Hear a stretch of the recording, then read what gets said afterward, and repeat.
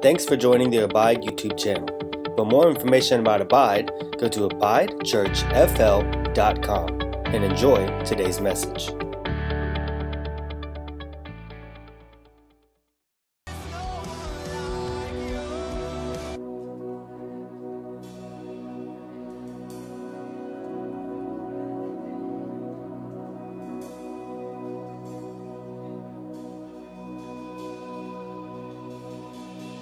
Morning, goodbye, Church. Come on, who's excited to be in church this morning? Who's excited to be in the presence of the Lord this morning? Come on, stand to your feet. Let's start to get excited. I don't know about you, but I already feel the presence. And I'm asking the Lord to do a great work this morning. Come on, that you would show up and you would show out Jesus. I didn't come here to just be cute, even though I look a little good today. Come on, somebody. I came here to give the Lord a shout. Listen, I want to read Psalm 34 because we felt this morning that the Lord was saying He wants us to exalt Him high. Can somebody say amen? That we exalt the Lord high. So I want to read Psalm 34. It says this I will bless the Lord at all times. Come on, say all times. His praise shall continuously be in my mouth. My soul shall make his boast in the Lord. The humble shall hear of it and be glad. Oh, magnify the Lord with me and let us exalt his name together. Come on, church. Can we just lift up our hands and begin to exalt the Lord? Oh, we lift you high this morning, Jesus. We came for no other reason but to lift you high. Lord, you are lifted high. You are seated high. Your train fills the temple. Your glory causes the angels to sing. It causes the angels to shout. So we lift up praise this morning. We lift you high this morning, Jesus. And we say, be exalted in this house. Be exalted in my life. Be exalted in my family. Be exalted in temple. Come on, you need to pray, church.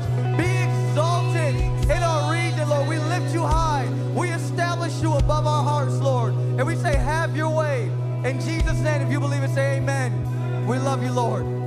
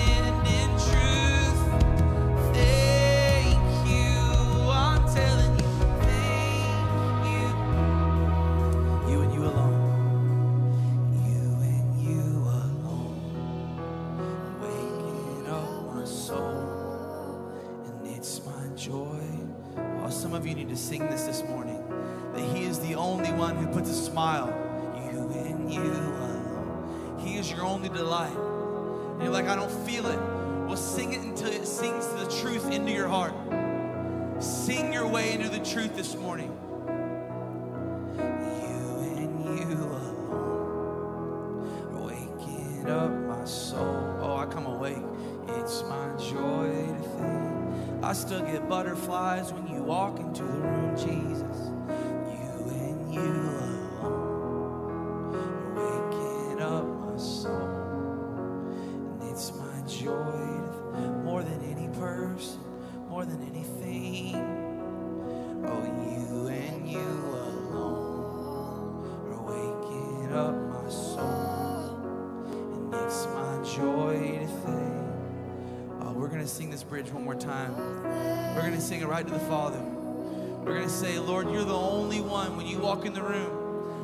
heart lights up and my heart comes alive. And even if I don't feel it right now, I'm gonna sing my way into that truth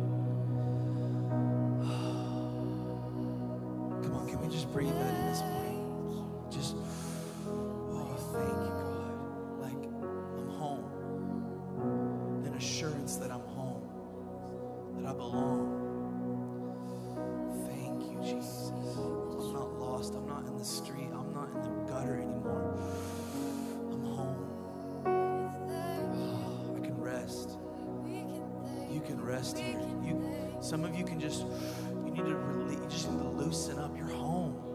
You don't have to be so tight. You're not in the street anymore. You're home. You don't have to be so guarded. You're home. What are you afraid of? You're in your father's house. And I'm not talking about this building, I'm talking about an eternal thing where he loves you. You are home. Jesus.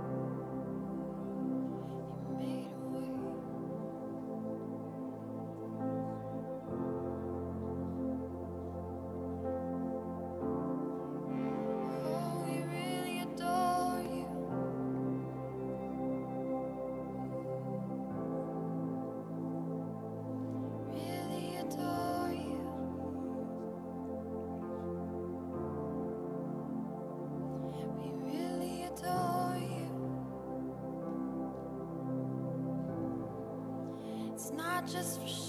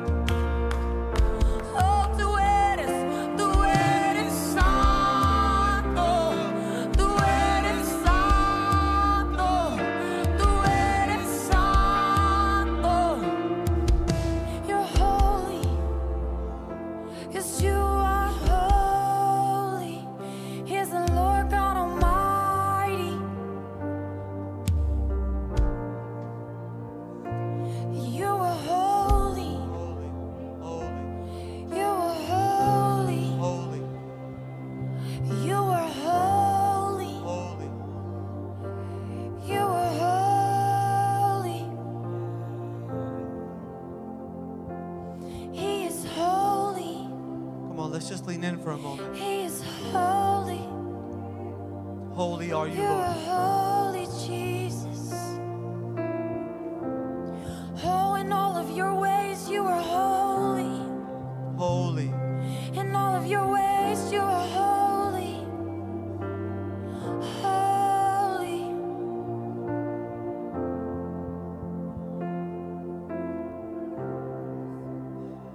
I wanted to kind of end this time with just asking the Lord to fill us once again with awe and wonder.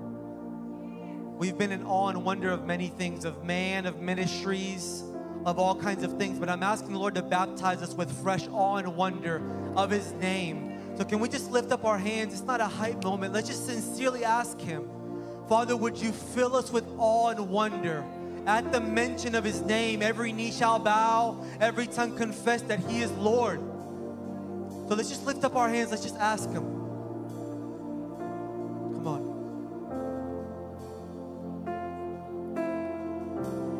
Filled with wonder. Come on. Let's just come into agreement. Oh,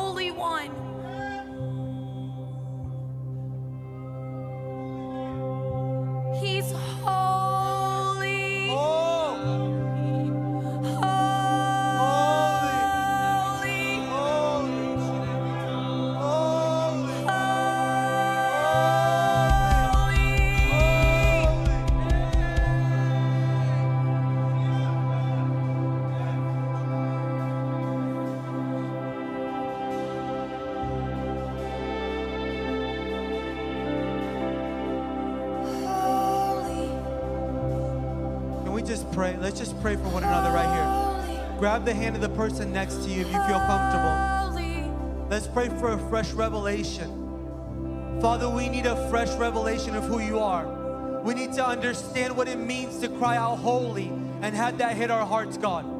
I want you to pray. I want you to pray, God, we cannot be satisfied with singing songs that are not hitting our hearts, God. We want to understand what it means to meet face to face with the Holy One of Israel. We want to be touched. We want to be gripped. Oh, God, cut us again with your name, God. Touch us, Holy Spirit. Holy Spirit, touch us. Oh, you're beautiful. You're mighty. You're holy. You're righteous. You are judge. You are set apart. Father, reveal the light of your face upon our hearts today. Jesus, we want to know you intimately. We need you, Lord. Make us a desperate people. That at the mention of your name there would be fear and reverence. Son of David, Son of David, have mercy. have mercy.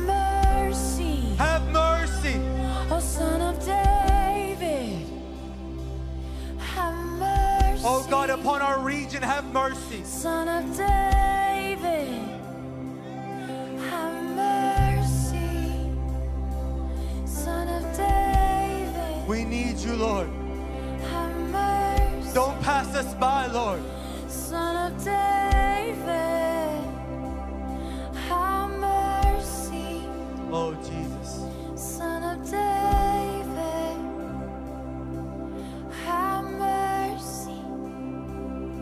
Father, make us a hungry people.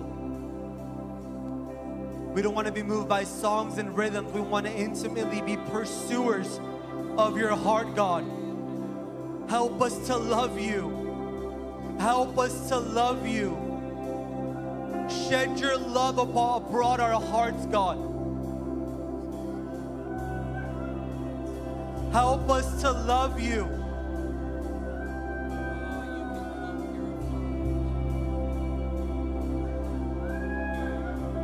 Make us like that woman with the issue of blood. We will pursue you. We press through the crowd, through the noise. Son of David, have mercy. This is not a spectator sport. The Lord wants to impart a fresh hunger in his people. We long to see you. We say, Come, Lord. Come, Lord Jesus, come. We want to see you. Come, Lord Jesus, come. Come, Lord Jesus, come. We desire you. and see you rightly. We desire you. We wanna see you We want to see you. and see you rightly. We wanna see you Baptize us afresh, Lord.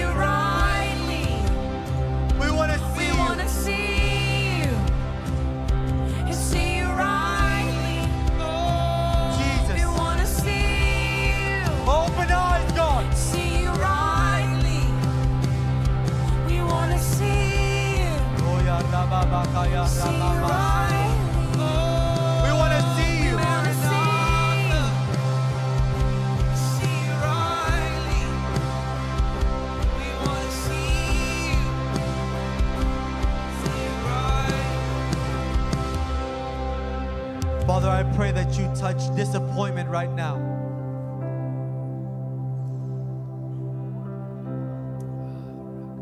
I just feel like the Lord wants to deal with this, man. Some of you are carrying this great disappointment. And Father, by the Holy Spirit, we just say bye bye disappointment. We say bye bye disappointment. Bye bye heaviness. Father, we ask you for fresh joy. Even for those that don't have faith for that right now, we say joy. We say joy. We say joy. Praise for heaviness. Joy for mourning. For those that can't receive it in the room, I pray someone would just stand in the gap and say, Joy, joy. Joy for my mourning. Just release that, babe. Joy, joy, There's joy for my mourning. joy. Let's just linger here for a moment. It may not be for you. That's okay. There's joy for my mourning. We speak joy over you. That the Joy of the Lord would be your strength. He is strong tower, mighty fortress. He is the refuge. There's joy for my mourning.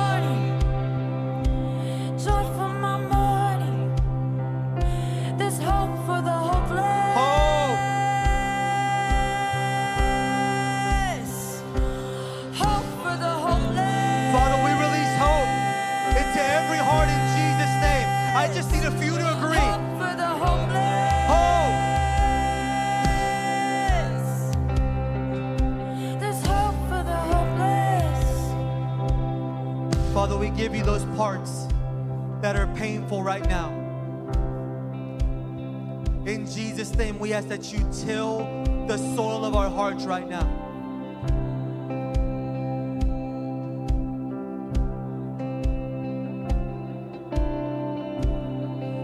We thank you for this moment, Father. We have faith that you care about our hearts.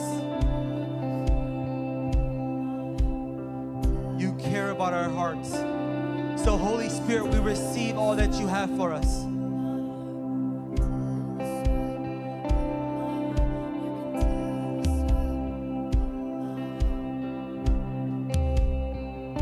We linger, Lord. Blessed are those who ascend and linger.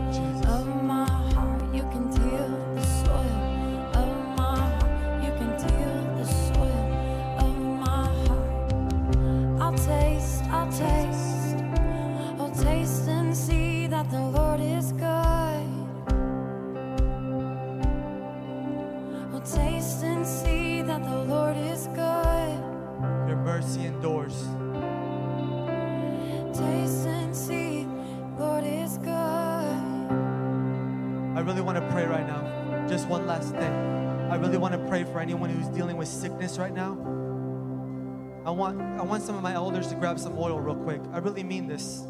Because it's like we can't just sing about the goodness of the Lord. I believe He wants to demonstrate it.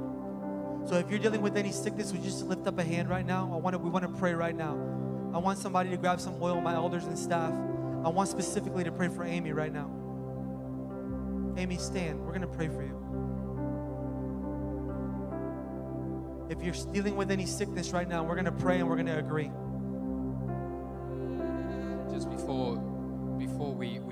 Feel like there's some specifics. I feel like there are people here with, with an ankle problem.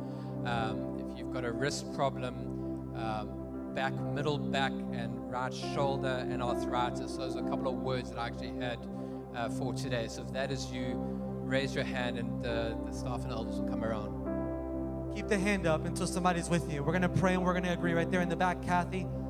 If listen, you don't. If some of my ministry school students find somebody right now, come on. There's still hands up. I'm gonna wait here. Hey, just just go ahead, bro. Just go ahead. I need everybody to get prayed for because I believe this is an important moment. The Bible tells us to grab oil and anoint with the elders and believe for, for healing. And everybody I'm not gonna pray until everybody's being prayed for. Hey, bro, will you help me real quick? Everybody, anybody missing? Father, right now, in Jesus' name, but church, let's pray. Father, right now, in Jesus' name, God, you said to taste and see that you are good. So, Father, right now, in Jesus' name, we pray for divine healing over everybody. We command all sickness to go right now in Jesus' name. By the blood of the Lamb, God, we command sickness to go and we speak wholeness over your body in Jesus' name. We tell all blood disease, all sickness, all diabetes, we tell unbelief to leave the room right now in Jesus' name. We say go. We say go, and that faith would come. That faith would come and touch our hearts, God. We release, God, the Spirit of God to touch every heart right now and give us the faith to receive. We rebuke sickness and we say, Take your hands off of your people. Take your hands off of God's people right now in Jesus' name. We break generational curses right now in Jesus' name. We break shame and guilt and condemnation off of every person right now. In Jesus' name, we break the spirit of perversion. In Jesus' name. Come on, let's pray through a little longer. We tell everybody to come into alignment right now. And we we silence every voice of the accuser that would say it's not going to happen. Word says your sheep hear your voice. Father, we release faith. We release faith. We release faith. We say, be healed in the name of Jesus. Be healed in the name of Jesus. Holy, holy. Wash them with your blood, God. Wash them with your blood, God.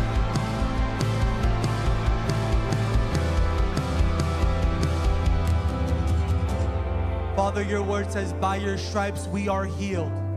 So we receive healing physical, emotional, spiritual healing. We receive it. We receive it. We rebuke any blockages right now in Jesus' name.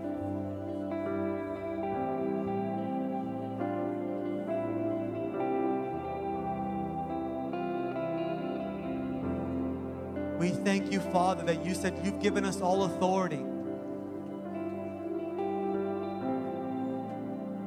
Father, we pray that you would uproot every lie right now. Every lie right now. Every lie right now. This is not your inheritance.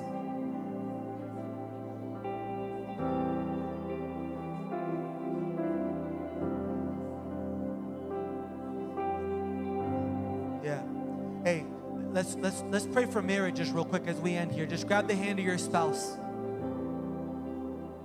Father, we thank you that your word says what you bring together, no nothing can separate. So, Father, we bless every marriage right now.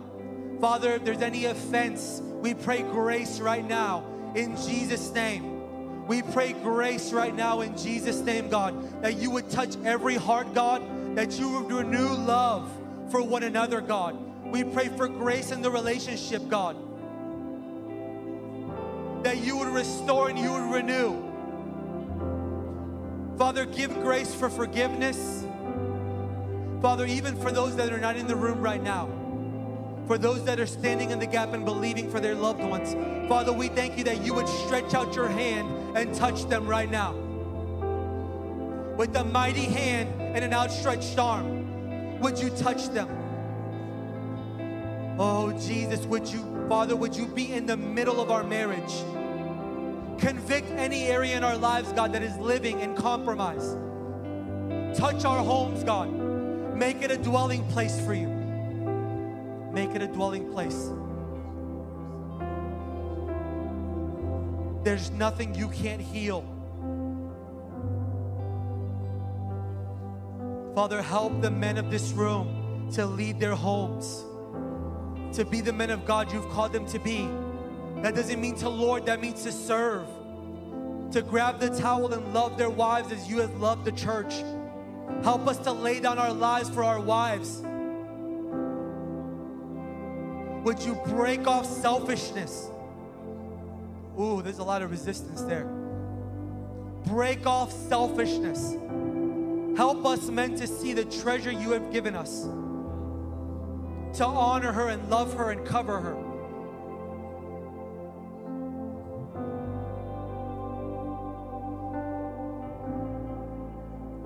Father, we thank you that a home is only as strong as its union. So, Father, bless the unions in this room. Every covenant, restore covenants in the room, God. In Jesus' name. Everyone said, Amen. Can we just give the Lord a hand? Come on. Wow. Hey, why don't you take a minute? Why don't you greet somebody? Give somebody a hug you've never met. Say, It's good to see you. We love you. Bless you. Come on, meet somebody. Meet somebody. Say, Happy Sunday.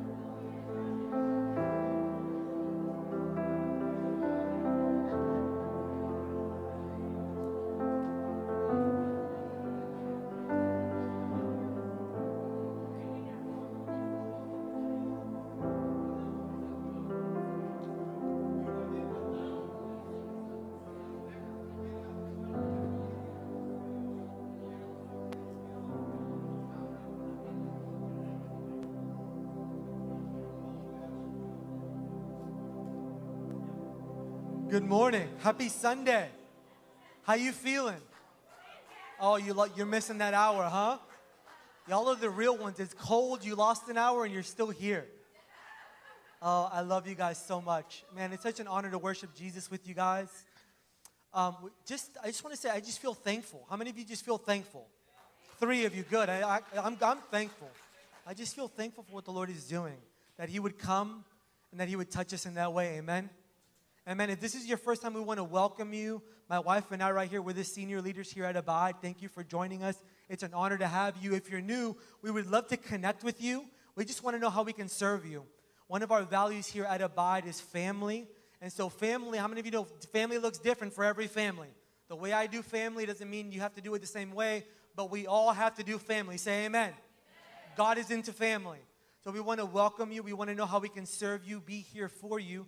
And we have a few announcements. The, the first one's very important. I want you to hear me. Um, this week, we are giving our Levites the week off from prayer room. So, like, we, we feel very adamant that it's important for us to give our team rest. Amen? And so, for those of you that don't know, we have a prayer room that happens here on Tuesdays, Wednesdays, Thursdays, Saturdays. And it takes a lot of work to create those moments, those spaces and places for God to touch us. And so, we wanted to give the team a break this week. Amen? So, if you show up here on Tuesday, Wednesday, or Thursday, you can pray. It's just not going to happen inside. You have to pray on the property, and that's okay. We love that. But we really felt to give the team the week off and to bless them. So it's spring break. We're going to encourage them to spend time with their families, to love on their families, and we'll be back next week. So if you come this week, there's going to be nobody here for prayer room. It will resume on Saturday night, correct? So it will be happening Saturday night, 6 to 8. I believe Tommy will be here on Saturday. So if you want to come on Saturday, let's go and prepare for Sunday. But as far as the week goes, there will be no prayer room and there will be no youth on Friday. So we're going to give everybody the week off and then we'll resume and get back to it. Amen? Amen. So, and, and the last announcement I have is they're doing a prayer prayer team meeting today directly after service. There should be food for your guys. So if you're a part of the prayer room or the prayer team, they're going to be meeting on the back patio, which is behind the kids' building, um, directly after service. So if that's you, if you're interested in being a part of the prayer room or you're a part of that or the prayer team, please stay. We want to just give context to where we feel God is taking us because it's important. You got to know where God is leading us. How many of you know God is leading us? He led the people of Israel by a pillar of cloud and of fire, and we believe in the very same way God is leading us. We are a spirit led church, which means if He doesn't move, we ain't moving. Say amen. Moses said this if you don't go, we don't want to go. So, so I, I feel this, man. I feel like we're in a season where God is moving us. He's expanding us, and not just a lot of times when we hear expansion, we think about buildings and people. But I'm interested in the spiritual expansion. Like, I'm interested in finding a place where God tabernacles, where He dwells, and we're figuring out how to steward it so He doesn't leave. Some people in the room, you don't believe that God will just dip up and leave. He will. He will. There is such, I mean, it's not my turn to preach, Steve. But I just want to say, like, I believe God is spiritually expanding us, which means as we grow bigger on the outside, there are things we can't partake of on the outside. As we grow bigger on the inside, there are things we cannot partake of on the outside. Praise God. I feel that. So let's I want to worship with our giving because I'm super excited. You guys are going to be blessed. You're going to hear from Steve Haines today from South Africa. It's it's just I've actually been waiting for this. I feel like for a year now. It feels like forever. But for those of you that don't know, they are they've just joined the shepherding team. They're the newest part of the shepherding team. And I'll give a little intro, but I just I want to encourage us to continue. And I just want to thank you. Like I just want you to know if you're new here or you don't give, this is a generous church. Like, I, I want to thank you for your generosity because we believe, like we said, that God, He's expanding us and He's giving us vision. We've talked to you guys about basketball courts and playgrounds, but all of it is unto God touching this region. Say amen. Like, we believe that God wants to touch this region, and there are those of you that God wants to use to be a part of that. But for those of you that, that you simply just step into that dream with giving, I just want to thank you. Can you receive that? Thank you for trusting this house. We really pray that God would stretch and multiply every dollar, but it takes dollars to do ministry. So I just want to thank you for that because we believe that we're just getting started. Like what God wants to do here, we believe we're still in the first fruit season. And I was reading this scripture this week, and I want to find it here because I believe that, that it's really important. It's in Proverbs 3. And he says this boom, boom, boom. Let me find it. Give me a second. Give me a second. Give me a second. Yeah, here it is. Honor the Lord. This is Proverbs 3 9. It says, Honor the Lord with your wealth and with the best part of everything you produce. Then, say then. Then he will fill your barns with grain and your vats will overflow with good wine. Meaning, listen, as we bring to the Lord, he is going to bless us. We don't believe in a prosperity gospel, but it's equally as ignorant to, to, to ignore the fact that when we partner with him, he partners with us. So I believe, man, like how many of you know like gas is like at $15 a gallon? Like it's a really great time to invest in something that's not worldly right now. Like to store up treasures in his kingdom so that when things happen, we're not shaken. Like we know we've sown in something that cannot be taken away from us. Amen. So I just want to encourage us to continue in that. We're in the world, but we're not of it. Which means my economy is not according, it's according to heaven's economy. We're blessed, we're covered. So we don't believe in the whole fear thing, but we believe that we have to be in proper alignment with heaven in every part of our lives. So I want to pray, Father, we ask that you would bless us, God, as a ministry, not just with money, but with wisdom on how to reach this community. We, we have faith, God, that you have given us this community. Like you have, you have chosen us to minister to this neighborhood around us, God. So we ask you for wisdom. Even right now, Holy Spirit, would you touch them? The mothers, the fathers, the children. Would you touch them, God? And as we give, Father, we want to know that we're giving with faith that you are going to touch them. And as we do our part, you will do yours. In Jesus' name, everyone said, Amen.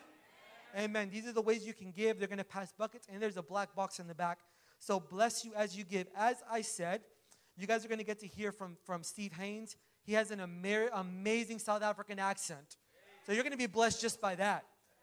But but I want to say something because I really honor. I just want to say, bro, I honor you, man. Like, I you know we we went out to the mission field for three months, and it was a step of faith. But I don't know how much they're gonna share. But they have moved their whole family from South Africa to here to serve at Abide, and they had never stepped foot at Abide. We had never met face to face. We talked over Zoom. God gave him a word, and he sold everything, and they moved their whole family to be here. So that should speak. That should speak a couple of things to us. That should speak to us that, that they are a family of great faith, and we should honor them. But also that God is doing something special here. That God would uproot a family that has been doing ministry for 20 plus years to come serve this house. We should be honored by that. So as he comes up, can we just honor them and receive from them this morning? Let's just honor Steve as he comes.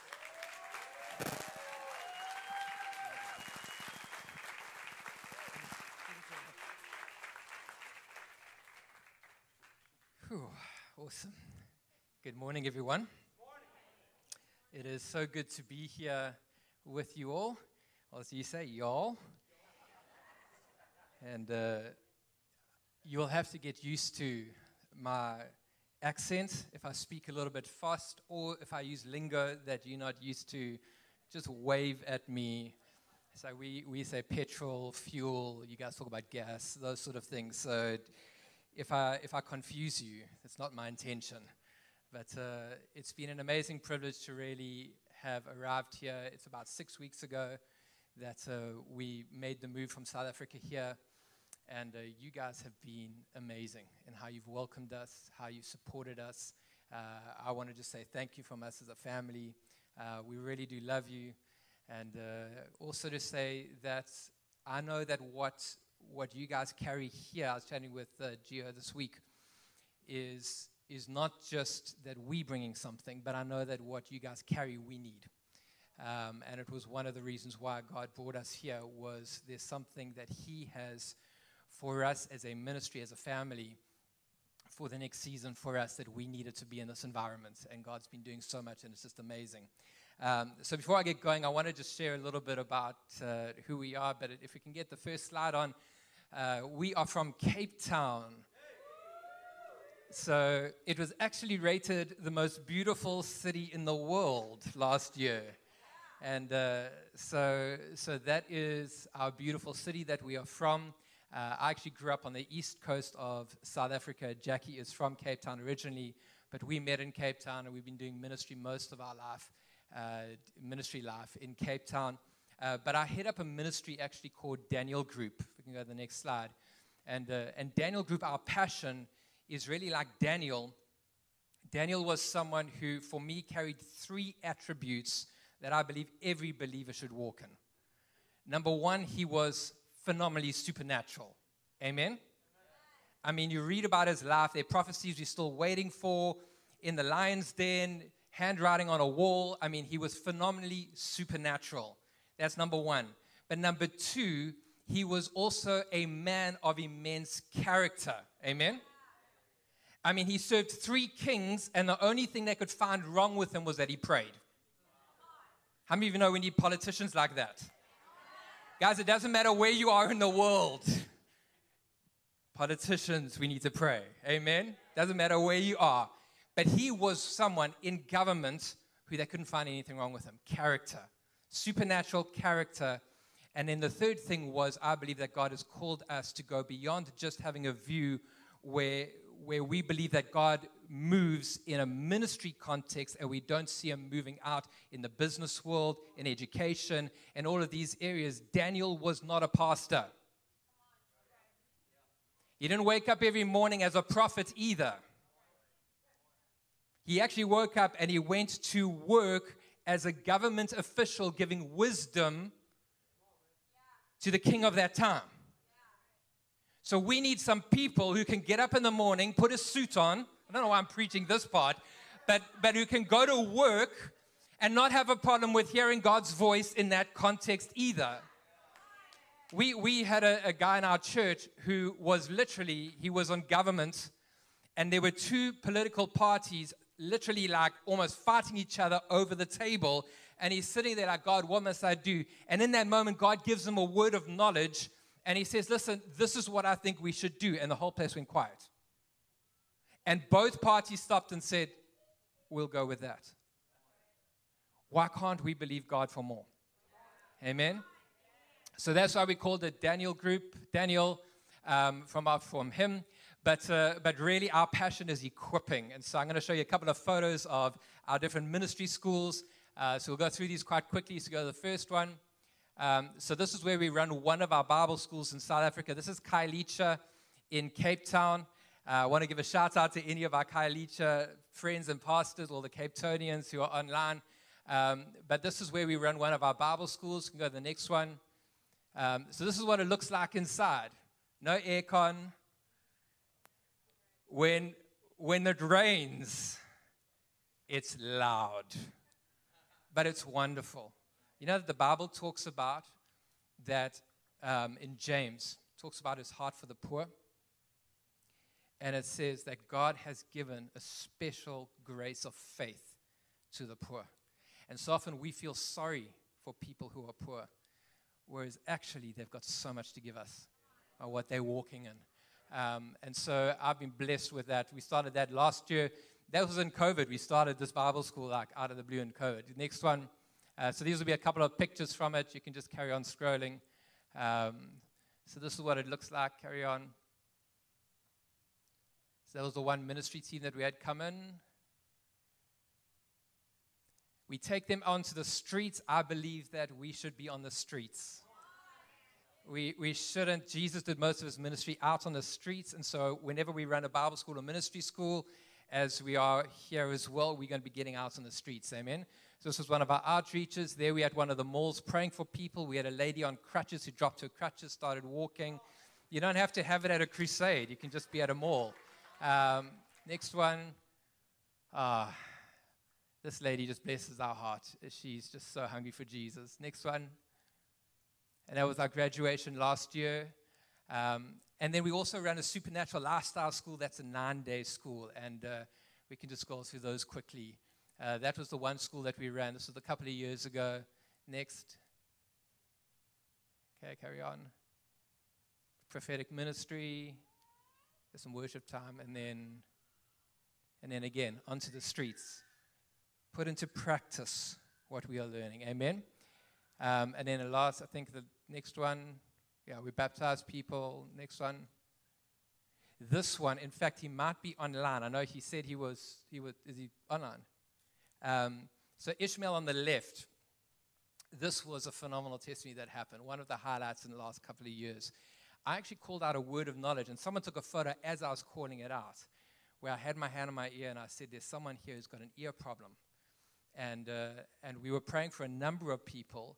And Ishmael was, was seated at the front, and uh, as we're praying, he feels like there's something blocking his ability to hear. So he's like, God, that's strange. And what it actually was, was it was his, um, what do you, his hearing aid. And when he took his hearing aid, he realized he could hear perfectly, and actually his hearing aid was limiting his hearing and he was totally healed. So I just love it. I love it when Jesus just shows up.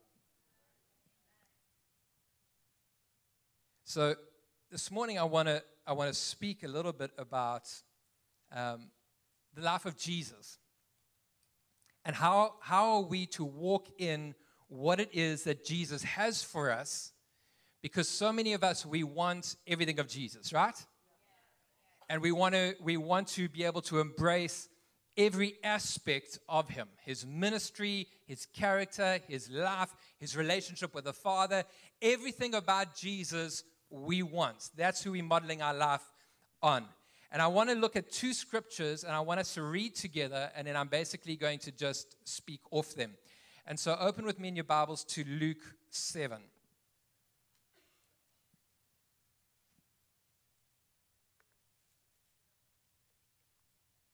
And what I'm going to do is I'm actually going to speak about two occurrences where Jesus raised people from the dead. So he raised three people in total from the dead, and we're going to touch on two of those this morning um, and really learn some of the principles. So, Luke 7, verse 11, and I'm reading here from the New Living Translation. It says, Soon afterwards, Jesus went with his disciples to the village of Nain and a large crowd followed him. A funeral procession was coming out as he approached the village gate.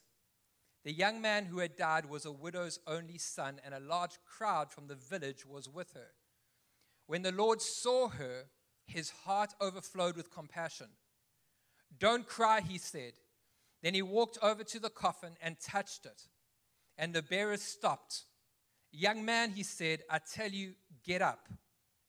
Then the dead boy sat up and begged, began to talk, and Jesus gave him back to his mother. Great fear swept the crowd, and they praised God, saying, A mighty prophet has risen among us, and God has visited his people today. Now I want you to turn over to John 11. John 11. And we're going to be looking now at, at Lazarus and the story of Lazarus. Now, it's actually quite a long one, so I'm not going to go into the whole thing. But there's part of it that I want to touch on uh, with Jesus here, and it's verse 32 onwards. So it says here, when Mary reached the place where Jesus was and saw him, she fell at his feet and said, Lord, if you had been here, my brother would not have died. When Jesus saw her weeping and the Jews who had come along with her also weeping, he was deeply moved in spirit and troubled. Where have you laid him? He asked. Come and see, Lord, they replied. Jesus wept. Then the Jews said, See how he loved him. But some of them said, Could not he who opened the eyes of the blind man have kept this man from dying? It's amazing how you'll always be criticized. Jesus, once more deeply moved, came to the tomb. It was a cave with a stone laid across the entrance. Take away the stone, he said. But Lord, said Martha, the sister of the dead man, by this time there is a bad odor, for he has been there four days. Then Jesus said, Did I not tell you that if you believe, you will see the glory of God? So they took away the stone, and Jesus looked up and said, Father, I thank you that you have heard me. I knew that you always hear me, but I have said this for the benefit of the people standing here, that they may believe that you sent me. When he had said this, Jesus called in a loud voice, Lazarus, come out. The dead man came out, his hands and feet wrapped with strips of linen and a cloth around his face. Jesus said to them, Take off the grave clothes and let them go. Two amazing stories. Now, I'm trusting that we're going to live in a day and age where we're going to see more and more people getting raised from the dead. We need to start believing this stuff. Come on. This is not just for Jesus. This is not just for Jesus. We are called heal the sick, raise the dead. It's actually a command as any other command. All right? So for us to say, ah, this is just Jesus. No, no, no, no, no. There's some principles we've got to get here to understand that He's called all of us to walk in a function or on a level that He walked in. Paul got this, and he raised a person from the dead. There are, there are people raising other people from the dead around the world right now. We've got to learn how to step into that. We've got to have more faith for it and firstly, we've got to get to the place where we start believing it. So, one of the things we do is we, we take people to the morgue at a hospital. Why? If you're going to meet dead people, it's a good place to start. God, I'm not joking. We literally take, and you know, one, one guy who oversaw the morgue in the one hospital we went to, he's like, You're the first Christians who have ever come and asked that that actually believe that what the Bible says can happen. Wow. We need more Christians who will believe the Bible. Amen. So we step out. I had I had an incident. I got to share this story when I, I, talk about raising the dead. So so I came back from a mission trip to Pemba, uh, where Heidi Baker. I mean, they've seen people getting raised from the dead, and we like these pastors laying hands on us. So I came back and I shared with the church that we had these pastors lay hands. We feel we've been anointed for it. This is what we're going after. And, uh, and this was great. Until about a week later, I got a phone call from someone in my church. And I said, Pastor, someone at my church has just died. We need you to come and raise him from the dead.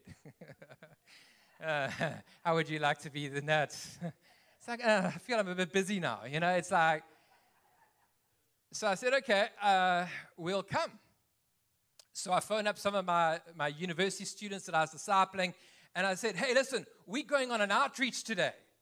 So they're like, yeah. We said, where are we going? I said, don't worry about that. I'm coming and picking you up in 15 minutes. So I picked them up and we drive to the hospital. It's like, oh, cool, the hospital outreach. Yeah, you're getting there. It's sort of like that. And we walk in, and there's a body lying in front of us. And I'm like, oh, Jesus, what do I do? So we lay hands. We start praying. We're laying hands and we're praying. We're laying hands and we're praying. And about half an hour goes past. Now, one of the things that I realized uh, when, when we were in Pemba, Surprise Sithole, who, who he's raised himself personally three people from the dead, he said on average, it takes four hours of praying before they've seen it. And I'm like, well, no wonder most of the Western church have never seen something like this happen. We give up after five minutes. Oh, it's obviously not the Lord's will, you know, we move on. So I'm like, well, we're going to pray. We're going to push in. So we start praying, we start praying, we start praying. And after about half an hour, I said to our team, I said, what are you feeling like the Lord's saying? And they're like, nothing yet. We're just going to keep pushing in. So we keep praying and we keep praying. And after about an hour and a half, I feel like I actually feel peace in my spirit. And, and I get this vision of this man standing in front of me.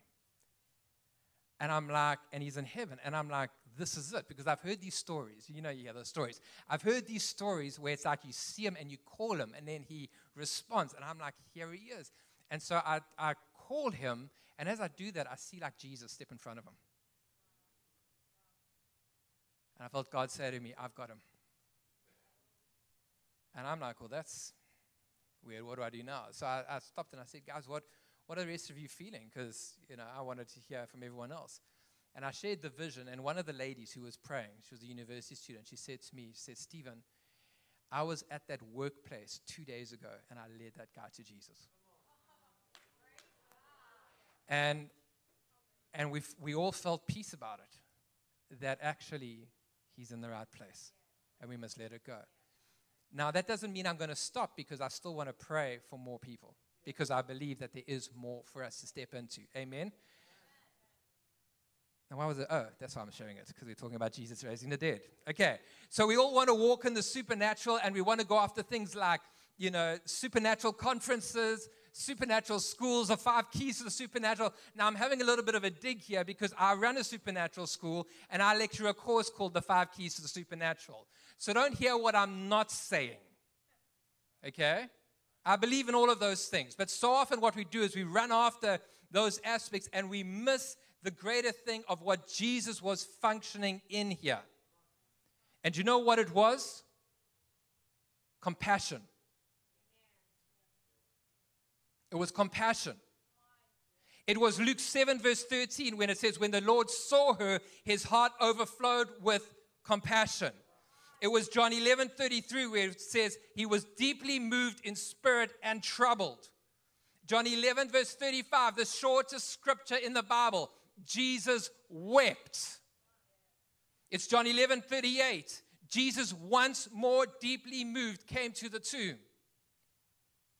And I think one of the things we overlook is that Jesus was someone who felt people. He was someone who had empathy. He was someone who we, we heard about the humility of Jesus and of God, but he was someone who carried the place where when he walked along, he felt the needs of the people. He felt their brokenness. He felt where they are. He knew when they were carrying evil thoughts towards him. But more than that, because we get stuck on that, he was broken for the people. He says they're like sheep without a shepherd. That's not a theological statement. That was him feeling the fact that they are they don't have the shepherd looking after them. He was moved. Matthew 9 36, Mark 1 verse 41, Matthew 14 14, Mark 6 34. All of these are, are scripture references to miracles that Jesus did, where it starts off by saying that he was moved with compassion. In other words, he saw a situation, he knew he had the answer, But what got him to respond to that was his heart that moved first. You see, your heart has to move before action follows. And the problem with the church is not that we don't know the keys to the supernatural or we don't have the answers to the world. The problem, I believe, with the church today is we actually don't have the compassion for the world. When did we last weep? When did we last cry out saying, God, would you move? Because you see, we become so callous. Guys, we become, and I'm including myself here, we become callous. This week, watch, uh, not watching the news, reading, reading some of the news in it. You know, you see the photos of Ukraine and you see people who are absolutely broken and hurting. And because you've read it now for a week or so, whatever it's been, you just page through it. And we don't realize that what's happening is that our heart condition is becoming callous, that we see a photo and we don't realize that this is actually a human being who is crying out, fearful for their life. And so, slowly but surely, our hearts change.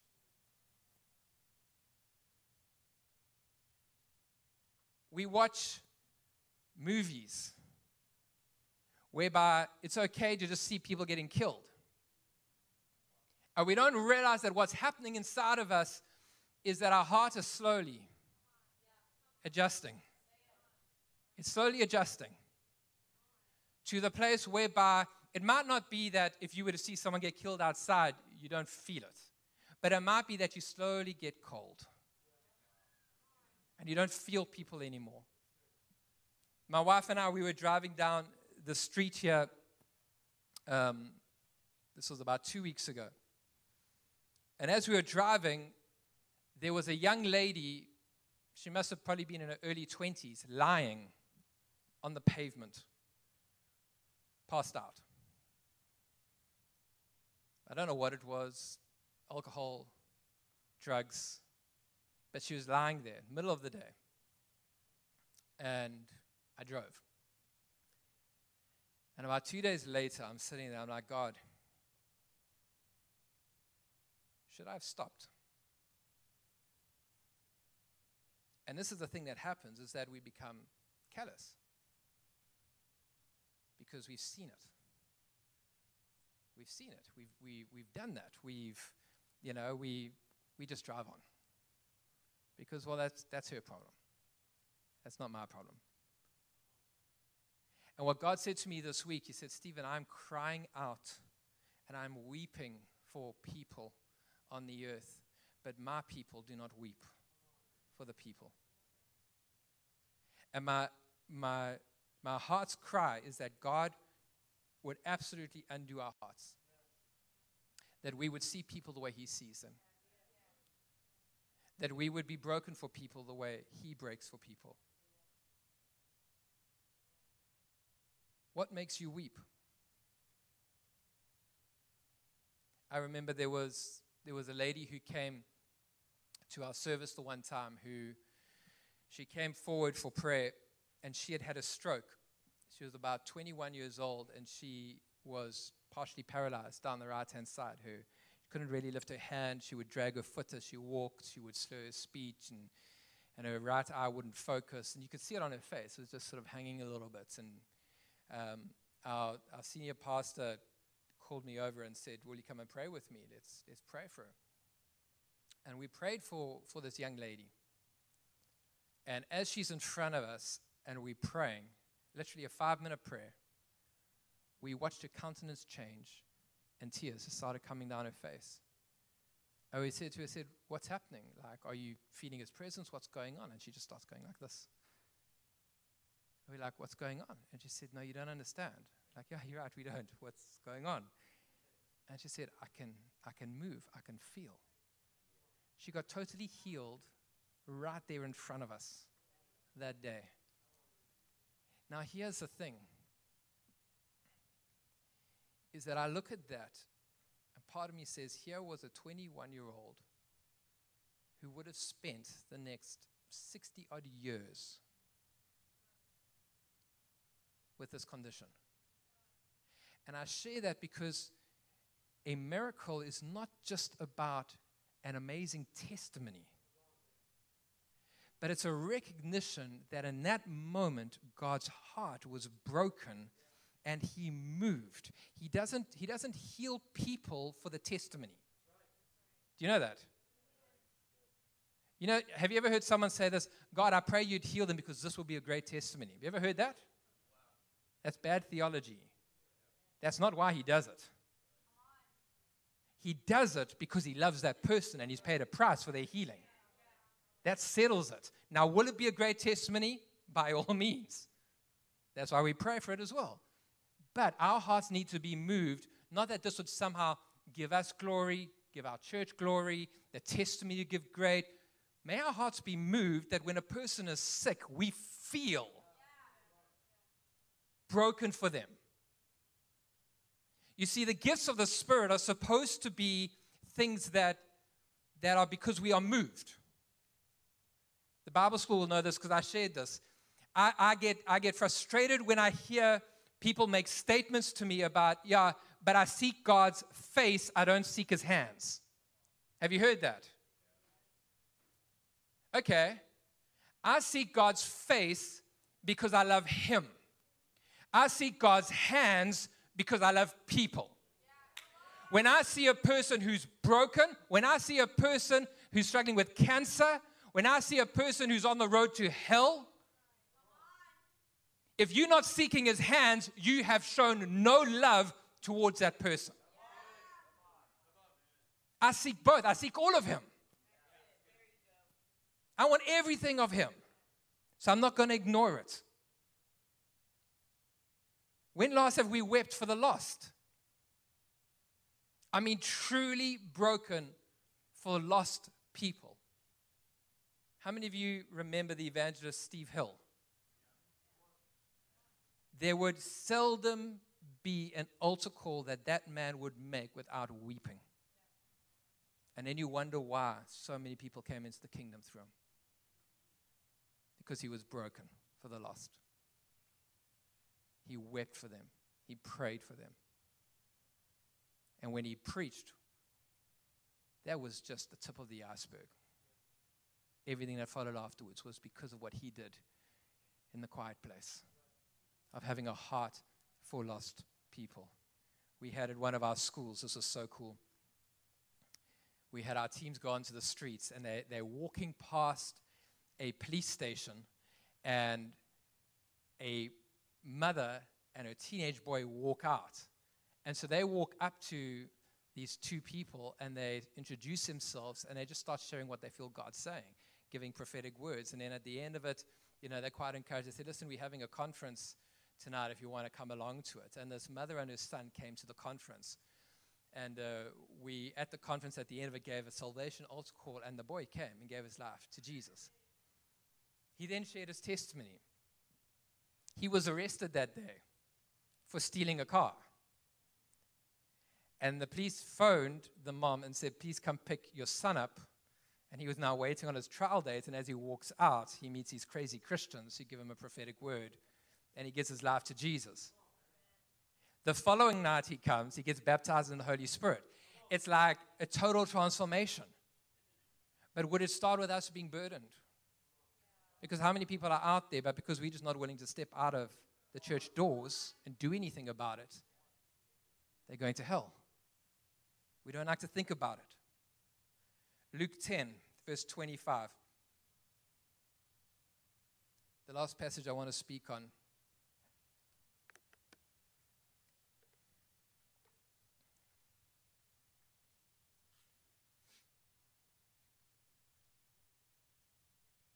On one occasion, an expert of the law stood up to test Jesus.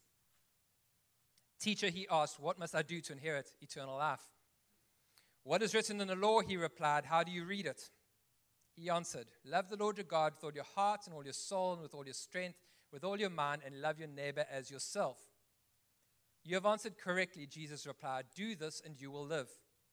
But he wanted to justify himself. so he asked Jesus, And who is my neighbor. In reply, Jesus said, A man was going down from Jerusalem to Jericho when he was attacked by robbers. They stripped him of his clothes, beat him, and went away, leaving him half dead. A priest happened to be going down the same road, and when he saw the man, he passed by on the other side. So too a Levite, when he came to the place and saw him, passed by on the other side.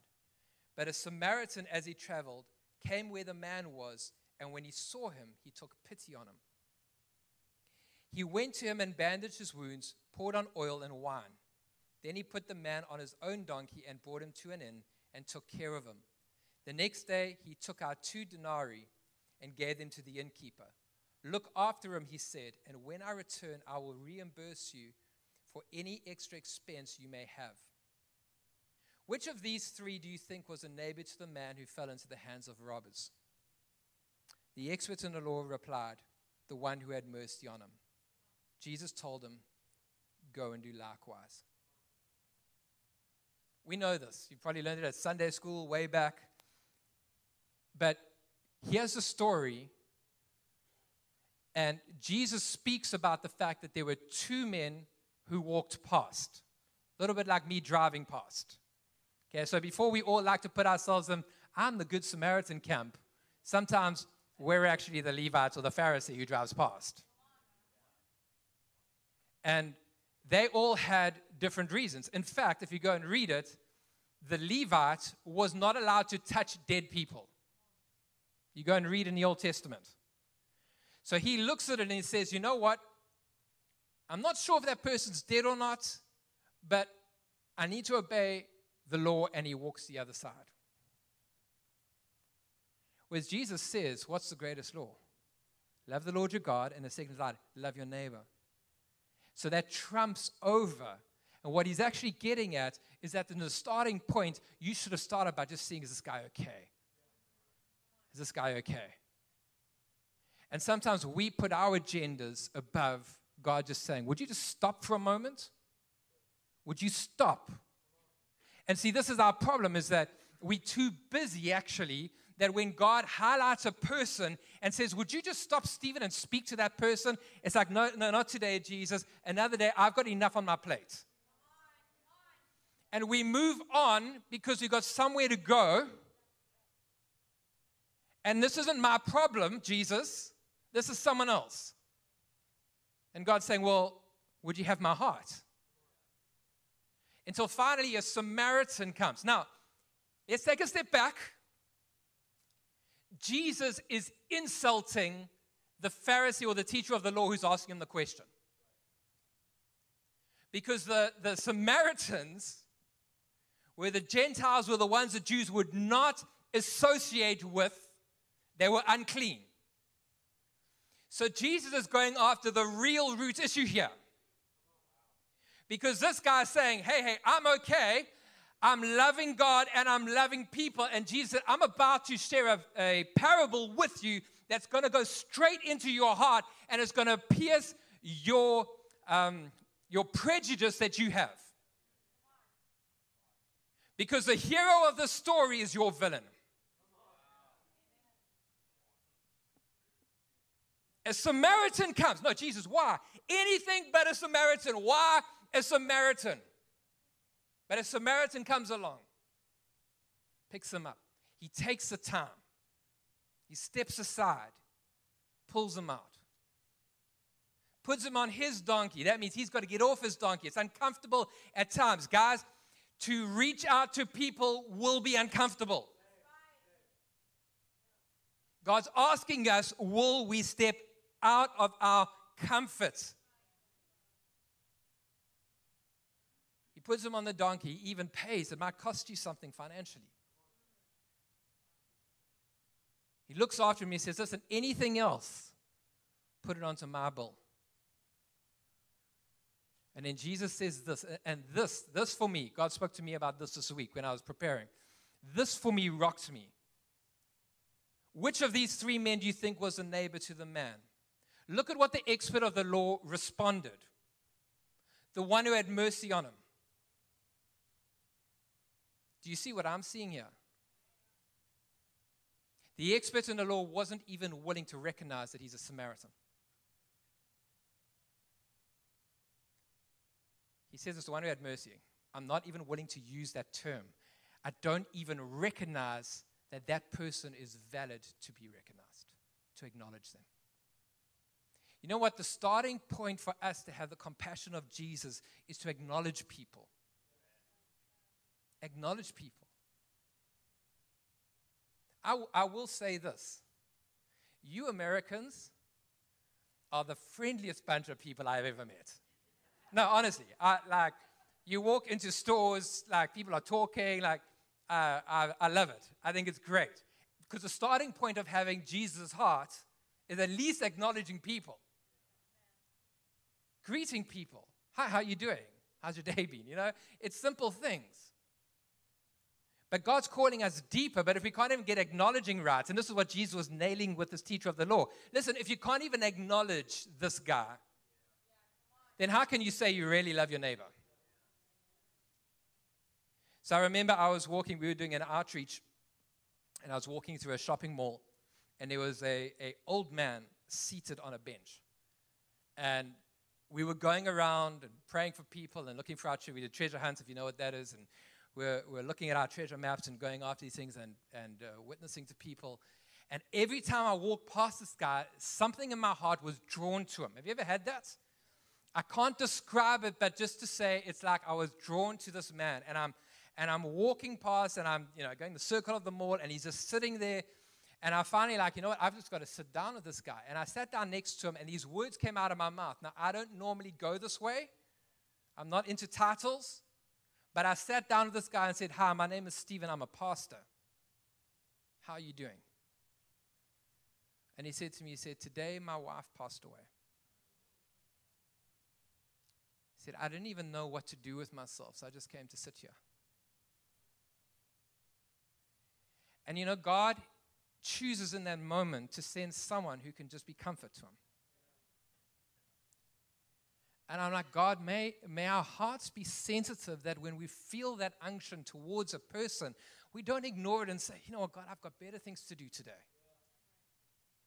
Because I could have easily said, well, you know, it's not on my map. You know, I'm here on an outreach and I'm doing all of the, and I could have missed what God wanted to do right in that moment and just to be there for someone.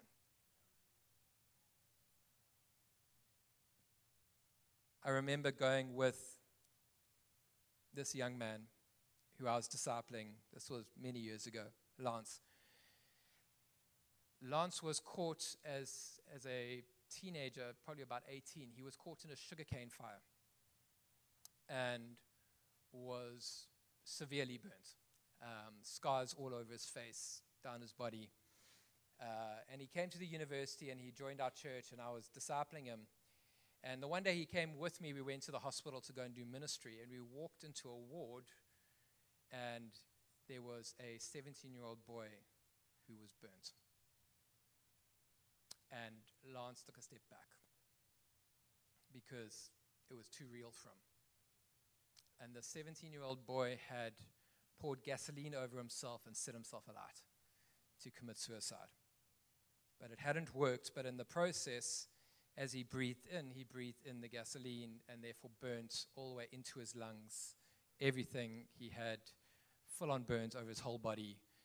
The only part of him you could see was literally his eyes because they kept that open. Um, and his mom's sitting there.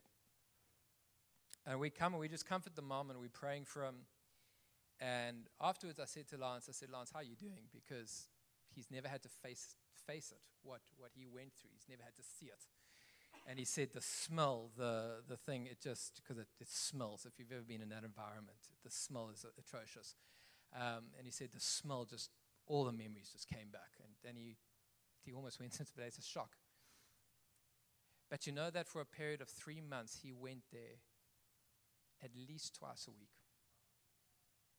to go and minister to this guy. And he's like, I've been through it. And he gave this boy hope. He shared about where he's at. And you know what? I look at that and I, I was blown away. Because here was a young man who had to face his own struggles, but he stepped beyond that because he could see someone else in need. And that is great maturity for him to be able to do that. But it's great compassion. It's great compassion. So, as we look at the Good Samaritan, let me say this. The people you're going to walk by are not lying in ditches like that story. You might find them like we did two weeks ago. But the people that you're going to walk past, that God might say, Would you stop and help? Might be someone wearing a suit at your work, might be someone at your school, might be someone at the grocery store. It's anywhere. And just because someone looks together doesn't mean they are together. We've got to reach out. Amen. Last thing, let me say this. I have a confession to make. Now, everyone listens and they want to hear. I don't believe in third world missions. But Steve, you're from South Africa. I don't believe in third world missions. Why? Because at the root of it is something that I've got a problem with. What is the term third world? It's the economic status of a nation. So we are defining a mission based upon the economy of that nation. Come on. There are people going to hell in Europe. There are people going to hell here. Why is it that we look at a poor person and think that somehow we have to do a mission for that person because we've got a mindset that's actually about economy rather than about the spirit of a person? So we want to go to a third world nation to make someone their life better. But their life is only a mist the Bible talks about. And in fact, I've met a lot of people in third world nations who are more on fire for Jesus, who are spreading the gospel more than people in first world countries. And so I'm all for missions. But let it be missions. Let's get rid of this lingo, third world. Let's go to the upmarket areas because people are broken there. They might be able to hide it a little bit more, but they are broken.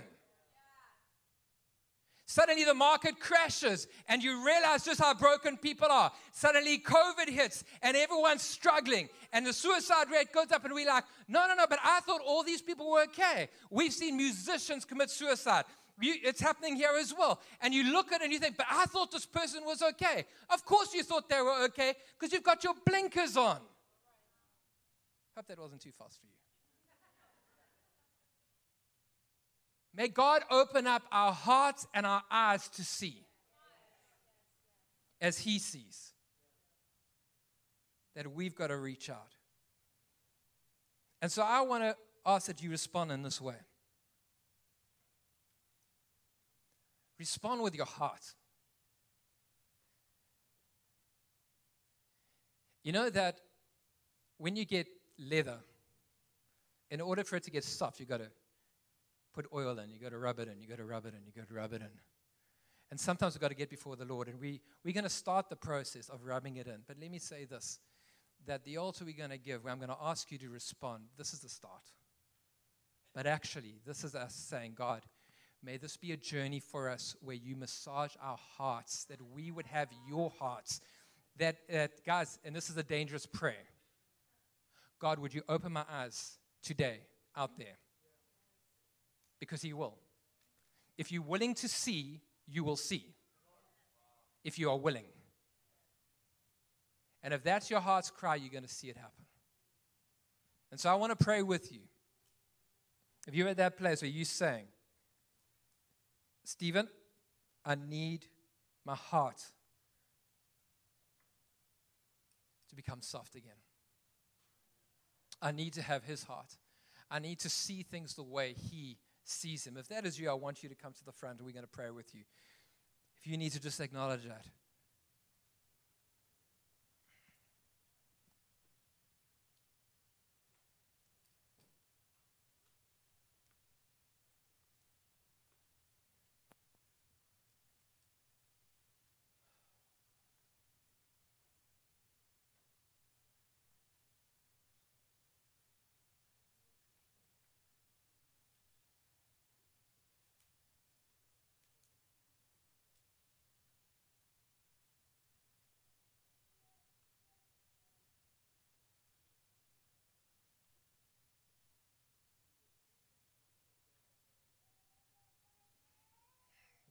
Cry out to you, Father.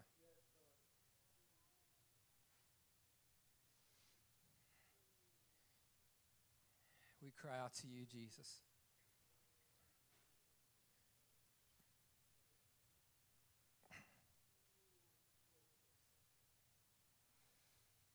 May we see the way you see. Father, we pray that, that we would even weep, that we would be moved with compassion, Father, that we would, we would see the world the way you sees it, see it, God, that we would that we would like you be willing to leave the 99 and go after the one. That Father, that we would that we would no longer just view our workplace in the same way, and this is dangerous. But we ask you, Father, to change our hearts. Change our hearts, God, where we've been callous, Father, where we have just been able to look at pictures and it doesn't move us anymore, Father, of people across the world or people even here, God, where we've, where we've driven past people and we know that they're hurting, but we don't care anymore, Father. May you break our hearts, Father, for what breaks yours. May you touch our hearts, God. Touch our hearts, Father. We cry out for you, Father. We cry out for your heart for this place, God. We cry out for your heart for Tampa, God. We cry out for your heart for the lost. We cry out for your heart, God. Father, without your heart, we can't do anything, Father.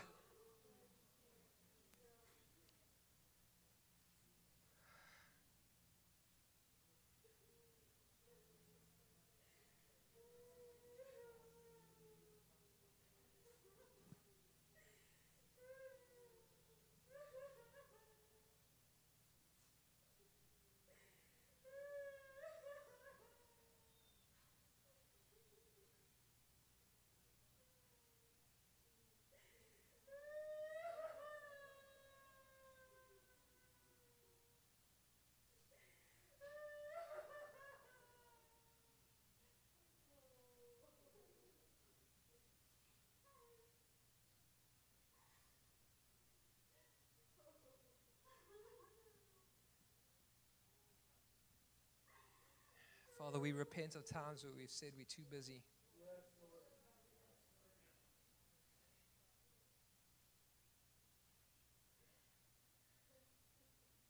We repent, Father, where we've walked past or driven past or just ignored when we know what we needed to have done in that moment.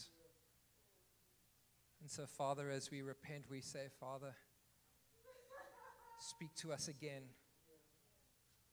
That you have every right, God, to speak to us. You have every right, God, to highlight people again. Show us again. May we be faithful, Father. Empower us, God, to be bold, to be able to do what needs to be done and respond in those moments. Let's speak again, Holy Spirit,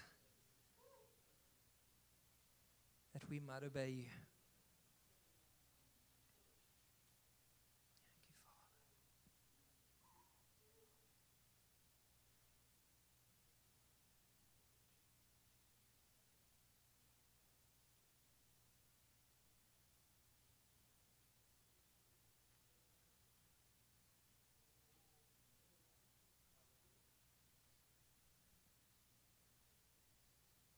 I really want us to pray here for a minute, but I want to say something.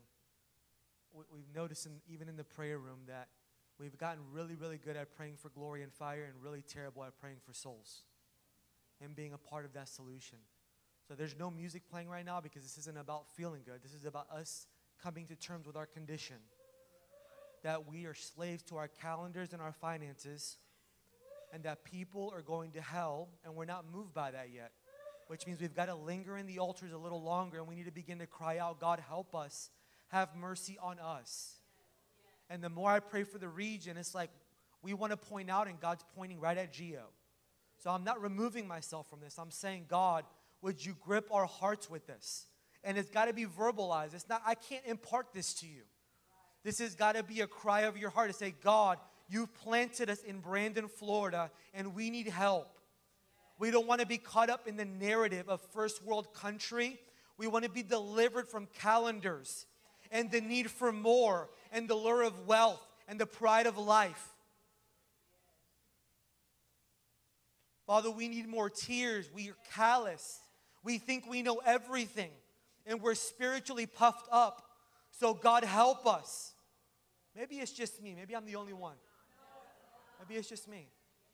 But the Lord's dealing with us because we're asking Him for things. And this is the preparation that has to take place. That we don't hear messages like this and we disconnect and say, no, we pay people to do that.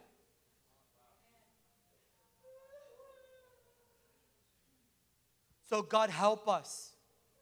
We want to carry this burden, even if it's just 10 or 15 of us, to carry a burden for a region, not just for good spiritual meetings where we feel good and we shake, but God, where we realize, God, that you are wanting to tabernacle and you're wanting to bring prodigals home.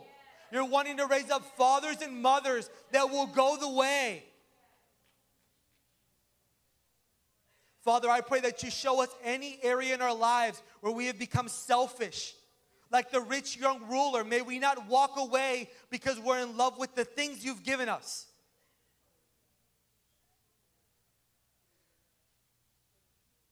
Can we just begin to pray? Come on. We got to break in here a little bit. Listen, I know what time it is. If you've got to go home, we love you, bless you. But just a little bit longer praying. God, may we not pass people by. Father, not just the broken and those holding signs, but those, God, that have it all put together. God, grip us. Help us to see by the Spirit. God, would you give us eye salve to see by the Spirit what's going on? That we may not be just content throwing dollars at needs. But may we be like those silver and gold we have not, but what we do have. Help us to carry that kind of authority.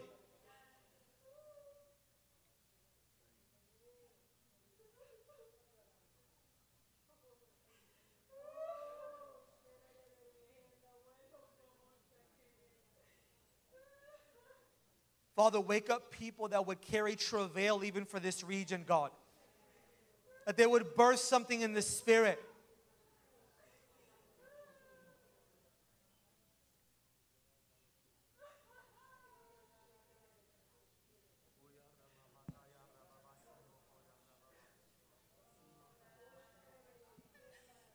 Jesus, we just repent, God. We repent for coming in and praying to see you, God, and to know you, and then walking out, God, and not carrying your heart with us, Jesus.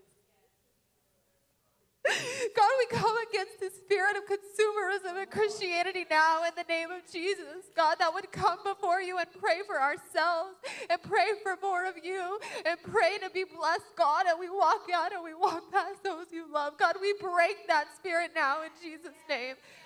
I need you guys to come into agreement. In the spirit, like we need to go to war right now. God, we break, we break the spirit of consumerism in this region now in Jesus' name. We come against it, God. We come against it. We will no longer come in this room and pray for us, us, us, us only, God, that we would see you, God, and that we wouldn't be moved by your eyes of fire, God, but that we would see, God, the people that we walk past, we would truly see them, God. The prostitutes and the drug addicts, God, and the men and women in business who are lonely and suicidal, God, that we would see in the Spirit, God, how you see them. We would see, we would see them, God. Would you mark us this morning, God, with compassion? Would you mark us with compassion, God?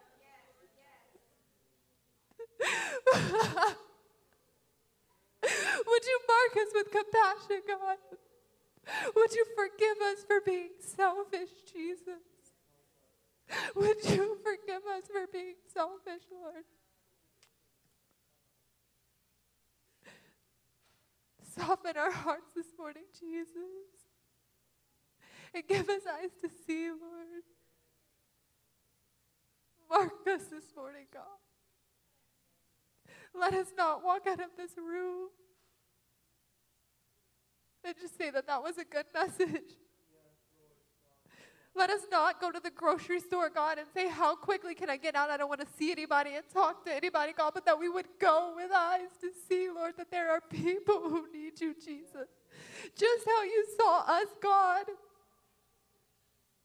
Just how you saw me, God. As broken and lonely and depressed and insecure. Lord, help us to see.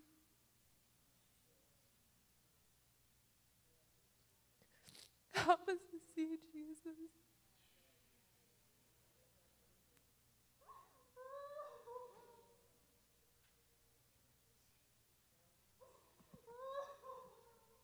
Father, you said in Ezekiel that you would remove a rocky and a stony heart and you would you would replace it with a tender and a responsive heart, God.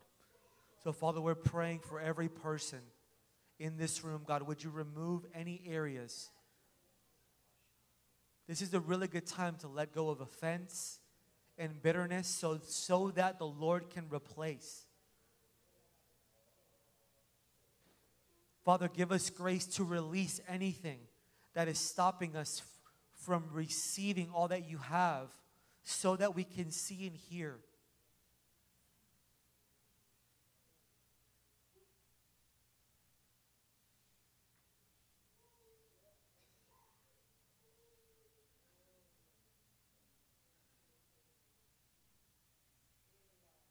God, I pray that you would even redirect the cry of our hearts. I don't believe there's anything wrong with praying for glory and crying out, but I just believe that if we catch his heart for people, he'll gift us with that.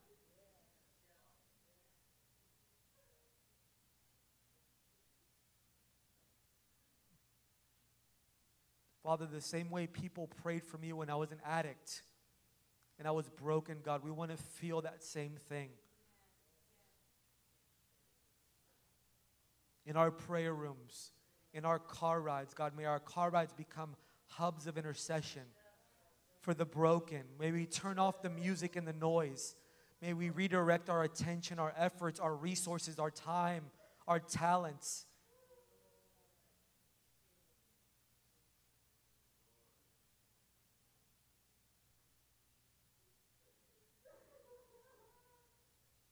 Father, you said at the end it will be like in Nineveh.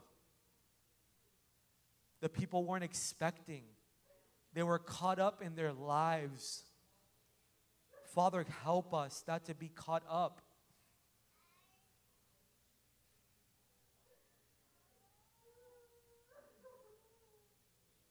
This is not a shame and a condemnation thing, but the Lord has to deal with us. Father, call us up. Help us to ascend. Help us to ascend, God. Help us to ascend.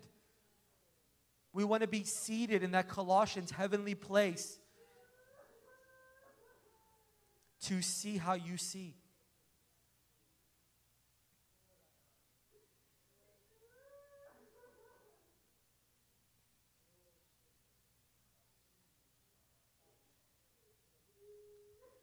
Father, we even ask you as a ministry for, the sh- for, for wisdom on how to reach these, this neighborhood. I really feel a burden that God has called us to disciple this neighborhood and to reach out to them. So, God, help us as a corporate spiritual family how to cover this neighborhood, how to see them, how to love them, how to serve them.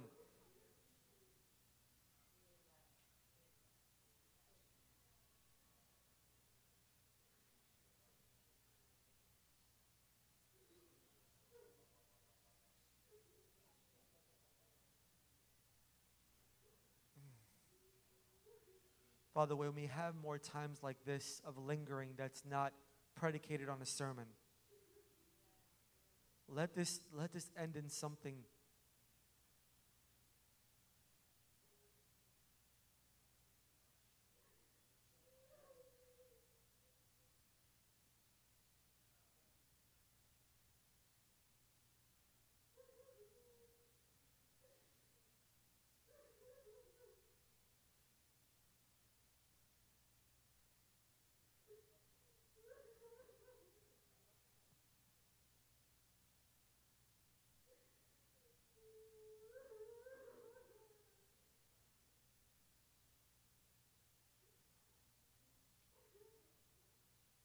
Father, even for family members that we've grown weary in praying for.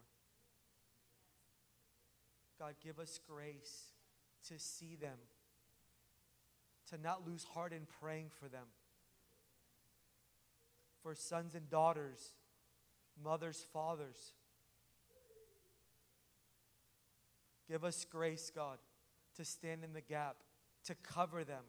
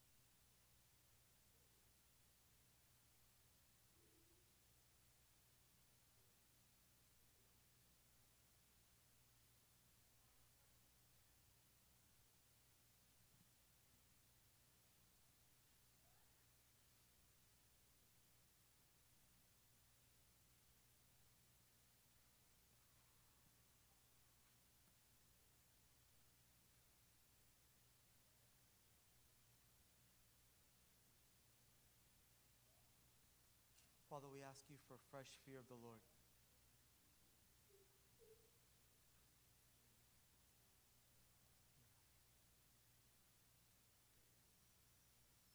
Father, give us reverential fear.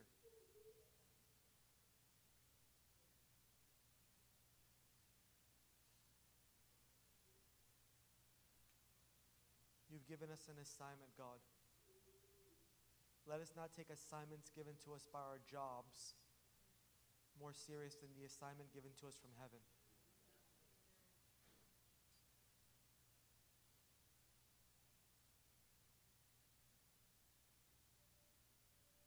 May we feel just as strongly a conviction to show up to our secret place as we do to that nine o'clock clock in time.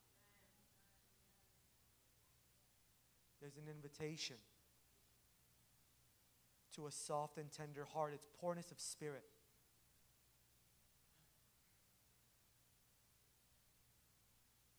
We ask you for divine appointments, God, with people. Like Steve with that young man.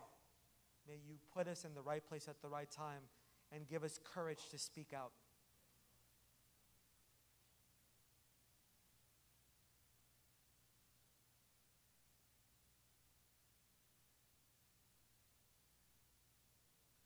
Marcus, I feel like you're supposed to pray over us, bro. Come pray. Like I'm gonna have Marcus pray. Can we just agree? And some of you, you just might need to linger in the altars for a little. There's gonna be no music today because this is not about music. It's about the Lord dealing with us. So.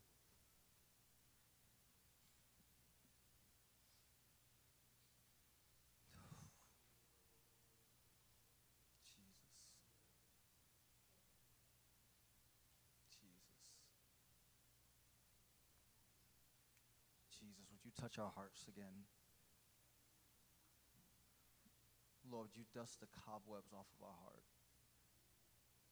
Father, would you forgive us for making everything about us?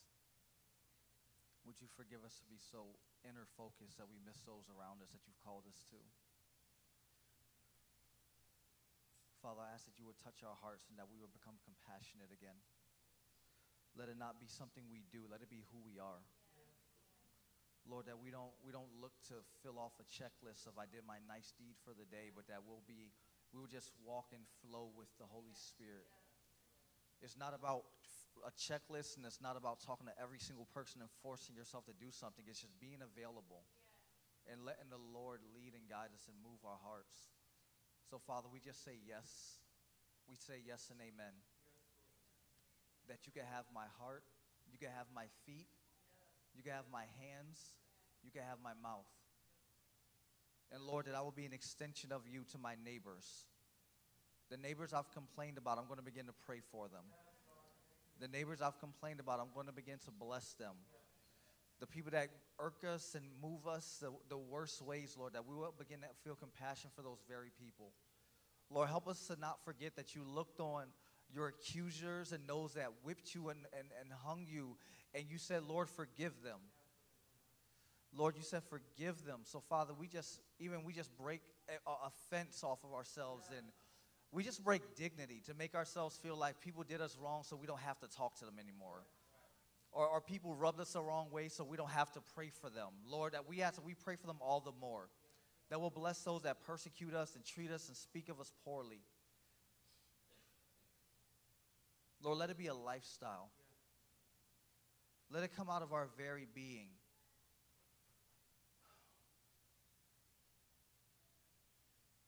Lord, I pray that you would just shift our minds off of what it, should, what it should or shouldn't look like.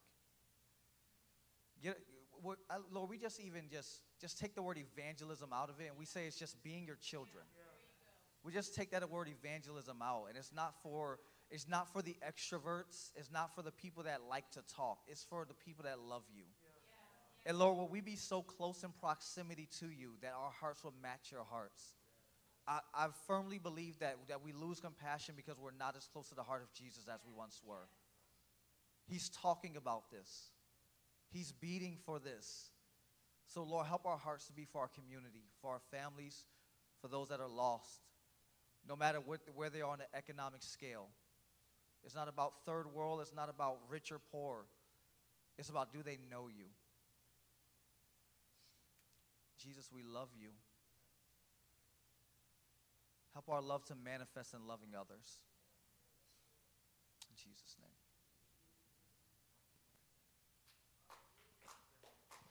Can we just thank the Lord? I just feel like, God, thank you for confronting us.